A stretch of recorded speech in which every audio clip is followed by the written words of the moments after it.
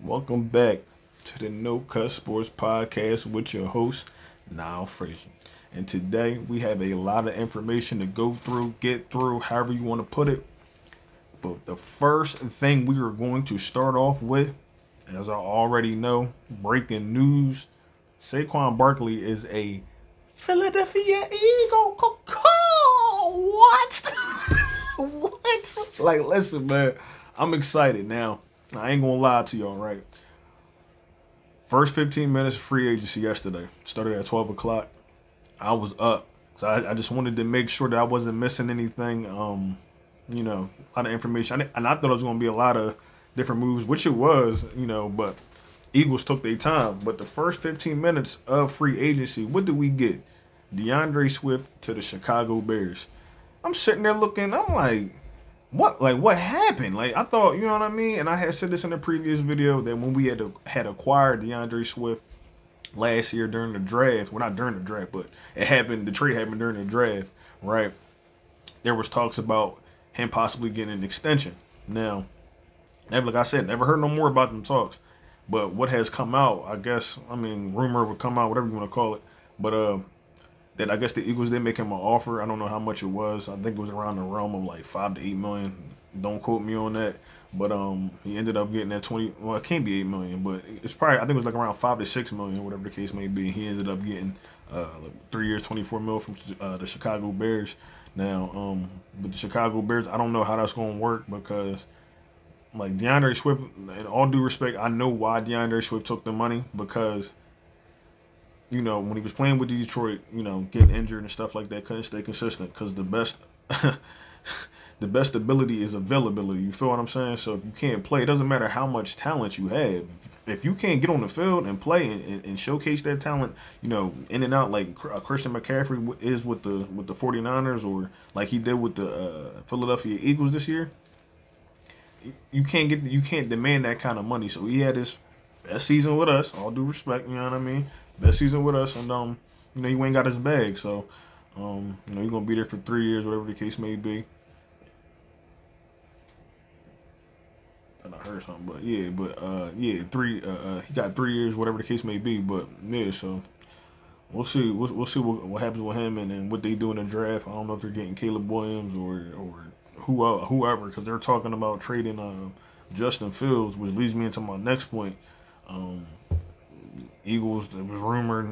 I don't. Everything's just going to be. You know what I mean? And the Eagles get linked to a lot of stuff, but it's just rumored that uh maybe Fields comes to you know backs up Jalen Hurts. I don't know. Maybe helps increase his value. He can go on to another team maybe a year or two after that. Who knows? But um, I'm not really interested in that right now. Um, so let me get into the rest of these points so I can tell you, you know, catch y'all up to date if y'all ain't already up to date. But acquired Saquon Barkley, you know, um, gave him what he wanted, and then this is like crazy because, and I thought I thought Saquon, Saquon was crazy for the simple fact that I can't remember the last time with LeSean McCoy that we signed a like multi-year running back, and then, um, you know, we all got our concerns, or at least I had my concerns about, uh, you know, um, like I said, the best ability is availability, and you know, playing for the Giants, he was usually hurt. You know, ACL. He come back, he come back, but have a crazy. You know, he has a crazy year, and that's not usually something that you see.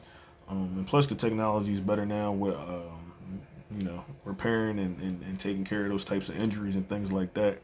But uh, I will say that our O line, you know, I don't think he he's not he hasn't played with like talent talent. So you know what I mean all due respect, you know, they the Giants rather had paid Daniel Jones last year, and I even had said that was going to be a stupid move because my thing is this: I don't know where what you see in Daniel Jones. All due respect, like I don't know what they saw to pay him that kind of money, and it's like, like like what Baker Mayfield got three years was it three years, a hundred million? You know what I'm saying? I be that's the type of deal. That's the type of deal I be.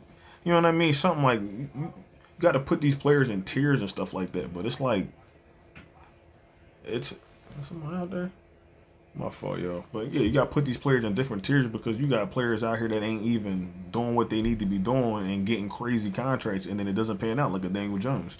So which you know leads you to having the you know then once you couldn't pay Saquon Barkley, so he ended up coming to the to the home team, and um I think he can stay healthy, or if he does stay healthy, God willing, God who God willing, he can stay healthy. But if he can stay healthy, that offense is bananas. And then we just signed Devontae, was it DeVante Parker from the Patriots, whatever the case may be. So we got, you know what I'm saying? And he's and he's a decent, he's a decent uh, for a wide receiver three if they use him, you know, in that position. Maybe they make some different moves in the drafts. I don't know yet, but um, you know, there's speculation about uh Xavier Worthy or uh what's the other guy named Big Bull. Not not not the other one. I think he played for Texas as well. But um, you know, so they, they might do something like that. Um, but let me get y'all up to date with you know more of this information that uh you know that you know that ski mask Howie done pulled off. So we also acquired Bryce Huff. All right, now there was already a little bit of talks days before uh, free agency that um, the Eagles were looking to acquire Bryce Huff. Um, at the same time, Patrick Queen was floating around too. Brian Burns uh, last year around the trade deadline. Um, I'm trying to think who else. Who else was it that they were? I don't think there's anybody that I'm missing, but if it is, you know, it is what it is. But so we never heard no more about Patrick Queen, right? And then Bryce Huff comes on the radar, and people start speaking. You know, rumors come out. Uh, I guess Lombardi, he does a little podcast for the. I to say little, but he does a podcast for uh, the Jets and stuff like that. And um, I guess he had leaked that information, and then they ended up signing him. So um, yeah, man, that's it, it's crazy because I watch some of his. Uh, you know, they post the highlights when you when you when you acquire the player, and I'm like, oh my god! And he was an undrafted player, so he's playing. He's playing with that dog in him, man. He's playing. That's what it. That's exactly what it looks like. He looked like he was playing with some dog in him, because you got to prove yourself. You know what I mean? So if we can get that. Um, well, we did get that, but well, what I'm saying, we if we can get that, you know, keep that dog, you know what I'm saying, and get that with the rest of the line, man. I'm trying to tell y'all, we can run that Super Bowl back, man. I'm trying to tell y'all. So offensive wise, now I'm trying to think of who else did we, uh, if I'm, if I'm missing anything. Landon Dickerson was extended, needed that. Now the whole thing is, and I also didn't, and I don't know what they're going to do, but with Smitty, right? I, they didn't extend Smitty. And I'm, and I'm not sitting there saying they can't. Still possibly can't happen. Don't get me wrong. But I was thinking like maybe that would be a more of a more of a priority. But I also got to remember that Haason Reddick contract, and then you get this information come out about them wanting to uh, trade uh, Sweat. So I don't know, man. It's it's, it's a lot going on because Bryce Huff plays on the same side as uh excuse me as uh, Haason Reddick. Um, and then the more information that came out that you know it was more of a like they didn't do what they were asking them to do um, so i guess i don't know man they're not playing man it's like and, and that's what i said with the vic fangio situation when players were coming i'm talking about vic is this type of you know he's a you know he can be a hard ass you know what i mean but all due respect you need discipline if you want to win super bowls or you want to consistently win when you when they sit here and talk about jalen hurts like leadership he don't really got to talk. He show it. I'm in the gym every day. I'm doing what I need to do to get better. I'm getting bigger. Whatever the case may be. Pause. You know what I'm saying?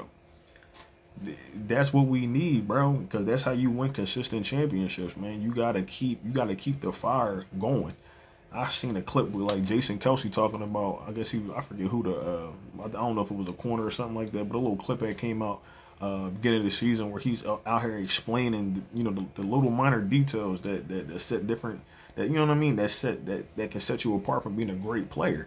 So it's like that's what we need on the Eagles. That's why we went out, got the different experienced coaches and stuff like that, um, to bring that bring those years of experience together. Uh, you know, cumulatively to, to to be able to provide this information to these players, you know, especially these young players, because you can see that Howie, you know, probably one of the reasons why he don't want to give Reddick all that money is because he's getting to be an older player.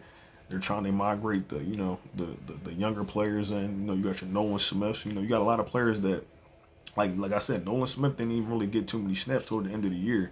You know what I mean? With a lot of weird stuff going on because we had you know uh, different coordinators, uh, new coordinators unexperienced coordinators didn't really know what they're doing. And all due respect, to Nick Sirianni, it looked like it was some inexperience on his uh, behalf too, which is all, you know, none of we can look back on it, all good and dandy now. But you see, they bring in Kellen Moore with some experience. You see, they bring in Vic Fangio for the experience.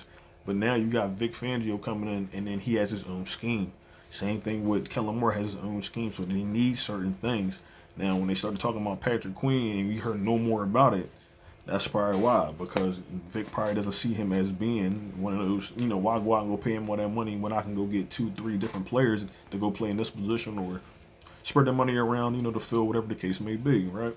So it's it's so far so good. I will say, man, for what Howie uh, has been able to pull off because Bryce Huff is like the third, like he's the third rated. Uh, he has like the third Russian uh, best passing rush rate, something like that, whatever the case may be, and that's just behind Michael Parsons and then Myles Garrett. So you know, we going and Vic Fangio can get that pressure with that defense. Like I said, do I personally like the defense? Nah, but that's the defense that took us to the Super Bowl. So, and when we had that crazy season, so the Super Bowl season, so, um, yeah, man, and I and, and and it's crazy to say because it's like if you really look around the NFL, a lot of teams, and I'm I'm sorry, a lot of teams ain't really like at least during free agency ain't really done made no moves. I'm looking at the Bills.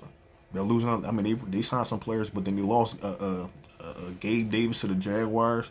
Now, I don't know where Calvin Ridley's going on at this moment in time as I'm recording this video. I don't know if he's, you know, maybe going to a different team or whatnot.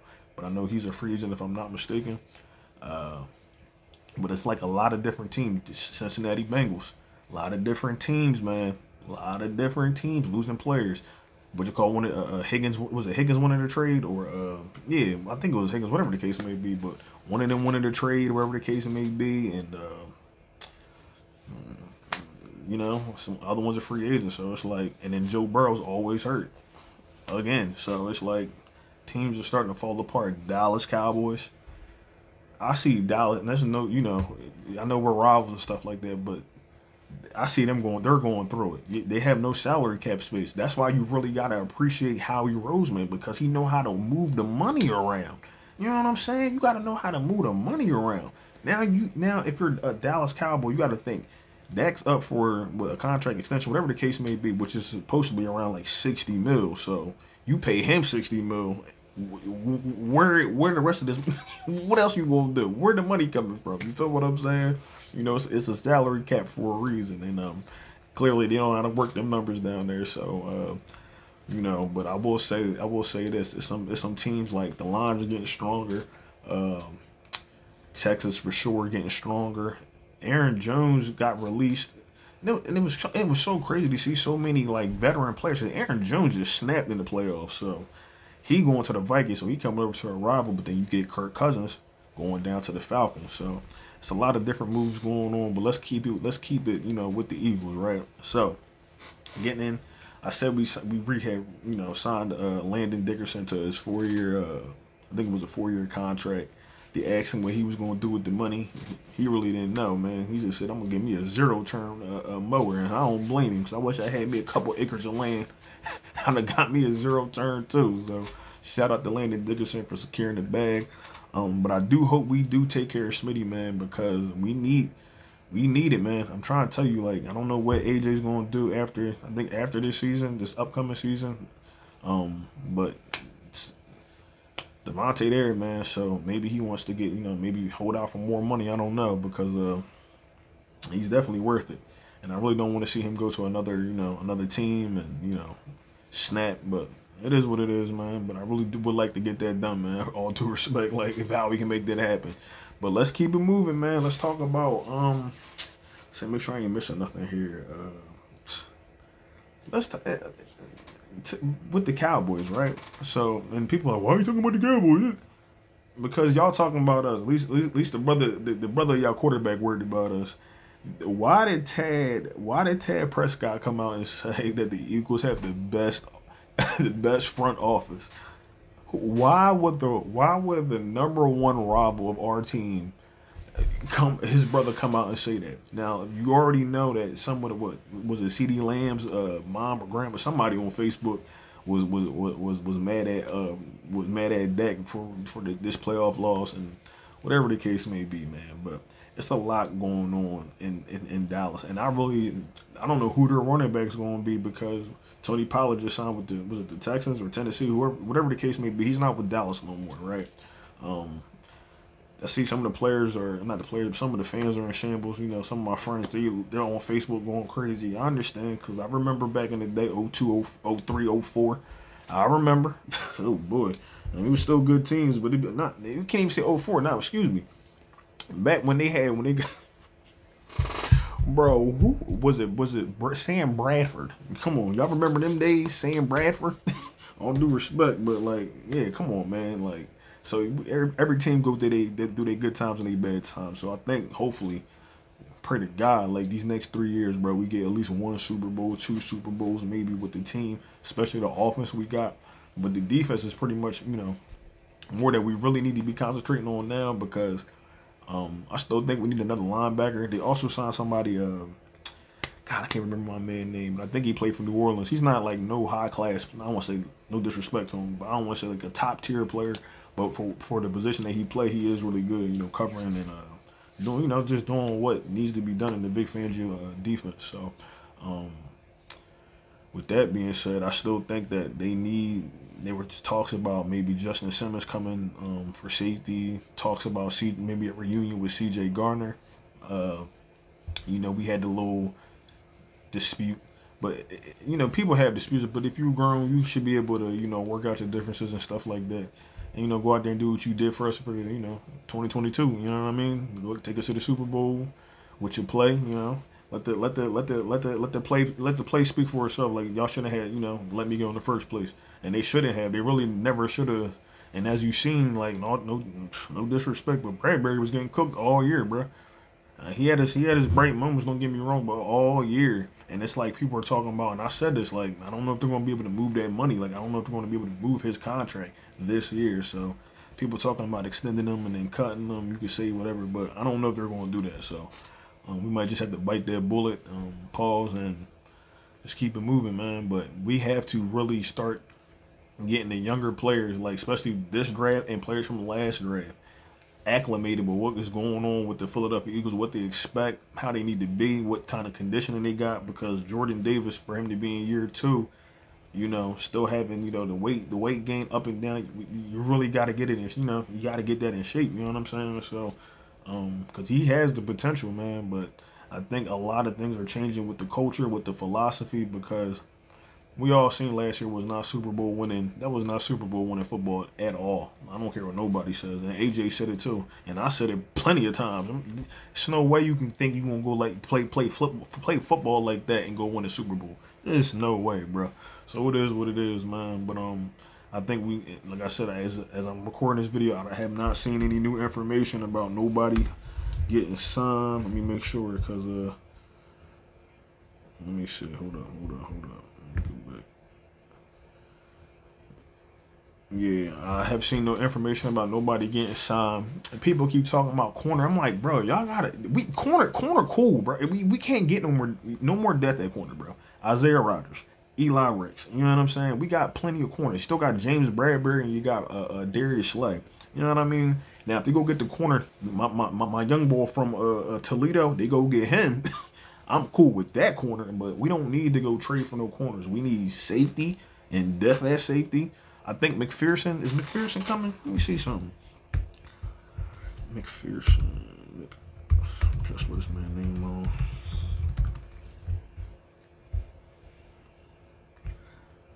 Is he still on here? If I'm not mistaken, yeah. Yeah, yeah, yeah. I think he's still on the team. So we got plenty of depth at corner, okay? We need like more of a hybrid. If you're gonna go get a corner, get a hybrid corner that can play safety in corner or something like that. Um, I seen that uh what's my man name that they just had let go, but uh God. Turf toe. What's my man name? I can't even think of my man name. Maddox. I seen he had what was it, the Saints or something like that. He had a he got a, a meeting with them, so hopefully it work out for him, man. It's, it's messed up it couldn't work out for us, but like I said, the best ability is availability, and he couldn't stay healthy. So, um, you know, we need you out there on the field to play that, you know, play your position and play your role. Um, the Eagles also uh, got uh, Matt Hennessy, um, offensive lineman. So they building, you're building on that line as as as always. You know, that's always coming. So, um, pause. But uh, yeah, man, I'm trying to think, make sure I ain't missing nothing else. Um, but yeah, with the with the sign of the with the sign of the I will say this with the sign of the Saquon, I do expect us to. I expect the Super Bowl, bro. I expect. I think Howie is uh, you know, Jeffrey Lurie's giving Howie, you know, or whoever else, whatever they like, go get whatever y'all need to get us back to that Super Bowl. You feel what I'm saying? Jeffrey Lurie, you know, he's an older man. He probably would like to see another one, two, three Super Bowls, as many as you can see, because Kansas City is doing like Patrick Mahomes to Kansas City and Andy Reid is crazy because it's Andy Reid are, are doing this with with less talent. You feel what I'm saying? Winning Super Bowls, going back to Super Bowls. They're finding a way to win. So like I like like like it don't really matter. You know what I mean? Like how much talent you got because clearly as we seen with our team down a down a drain. And then I also say this about Kyle Shanahan. No disrespect to him, but every big game he's a part of, they lose every time. So it's like what can you like like talent talent only gonna get you so far. You still gotta be able to know how to coach. And Andy Reid is Andy Reid is a good coach. So um with Nick Sirianni, I would like to think, you know, like I don't like I'm not trying to be disrespectful with saying this, but like I don't know exactly what he's gonna do. It's gonna be more or less a Kellen Moore and Vic Fangio show. Um, but I do expect Kellen Moore to take this offense to a whole nother level. I don't I, like like I'm not trying I'm, I'm really trying to be nice when I say this, but I don't expect nothing less than 27.7 points per game, okay? I'm trying to be nice even saying that number. It should be 30. Easy average 30 points, but I'm gonna be nice because this is his first year. And don't let him get acclimated. Make sure you know what he's doing.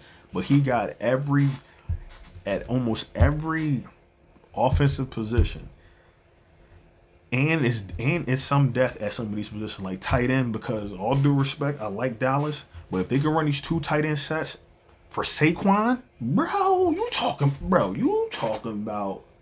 Don't forget, who care about the three yards he was averaging last year? Saquon gonna average at least ten easy, bro. I'm telling y'all, if he can stay healthy, that bro, it, it, it, bananas. That's all I'm gonna say. I'm gonna keep it cool. I'm gonna keep it cool. Like shout out to D'Andre Swift. Cause I would have loved to have him still on the team too, running, you know, him and crazy. So, and we still need that there running back as well because I see there's interest in Boston Scott from the Giants. So they end up getting him. I mean, I mean we got Gainwell, and I don't know who. Maybe some on the practice squad. I don't know if they got you know somebody there, but I'm just excited, man. I will say that. I'm excited. Baseball, you know, I've been watching my baseball, so you know, you know, you gotta get them together too. We're not gonna get too crazy with the Phillies right quick, but you gotta get them together too come this season. But uh, yeah, man, it's a lot. It's a, Eagles got bro. Howie is a is a is a bro highway robbery sometimes because it's like I don't understand. Like I don't under I do understand, but it's like he keep doing it. Like it just it just keeps happening year after year. It just keeps happening. Now I know he probably gonna do these one year deals. He probably done got his you know his big plays out the way, but I still think it's one more crazy trade that we not thinking about. We ain't heard about. You know what I'm saying? Because they do their due diligence, making sure that they you know you know. make sure we're not missing, you know, something where we can get a deal. Howie like, like I say, he likes to he likes to get deals for players. So, you know what I mean. So we'll see what we'll, we'll see what more comes, and I'll, I'll make a video to keep y'all updated. But uh, like I said, I always appreciate y'all watching the videos, and if you could, please like and subscribe to always catch this vibe. I'ma holla at y'all. It's now from the NoCuts Sports Podcast. Yes, sir.